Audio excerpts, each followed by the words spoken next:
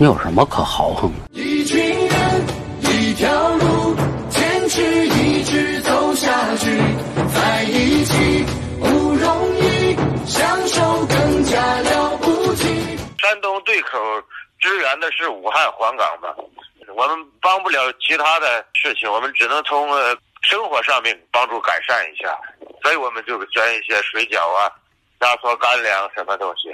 第一批是二月十五号发运的，一个集装箱里面是十吨水饺、五吨的鸡蛋糕，还有一吨的压缩干粮和苹果什么东西。这批是两吨的鲅鱼水饺。看看，终于到达目的地了，来到了，